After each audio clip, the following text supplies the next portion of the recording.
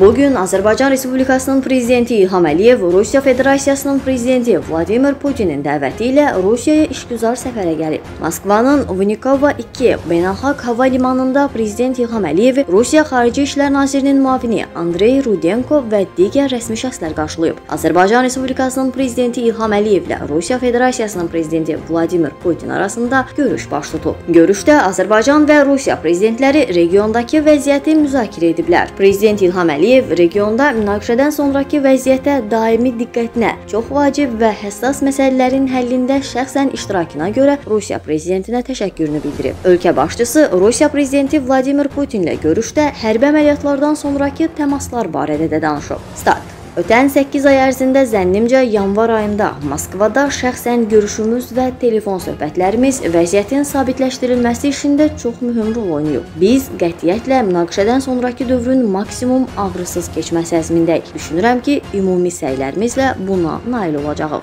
Statın sonu. Bundan əlavə ölkə başçısı İlham Əliyev Vladimir Putinlə birlikdə bir sıra məsələləri müzakirə edib. Vladimir Putin qeyd edib ki, Rusiya yaxın vaxtlarda Azərbaycana nüfuzlu nümayəndə nümayəndə heyəti göndərməyi planlaşdırır və bu nümayəndə heyəti həmin məsələlərlə artıq Bakıda məşğul olacaq. Onlar müxtəlif məkanlarda müntəzəm sürətdə görüşürlər. Bu müxtəlif istiqamətlər üzrə qarışıq qrup olacaq. Həm sənaye, həm nəqliyyat, həm infrastruktur və bəzi başqa məsələlər nəzərdə tutulur. İki ölkənin koronavirusa qarşı mübarizədə getdikcə daha fəal əməkdaşlıq etdiyini vurğulayan Rusiya prezidenti Moskva və Bakının Azərbaycanda vaksin istehsalının genişləndirilməsi üzərində işlədiyini də bildirib.